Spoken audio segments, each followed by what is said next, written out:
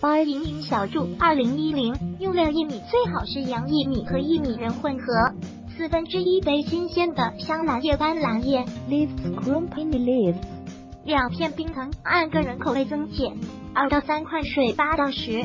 杯做法步骤：一、薏米洗净泡水半个小时，装入瓦煲里，加入八到十杯水，喜欢浓一点的用八杯水，喜欢稀一点的十杯。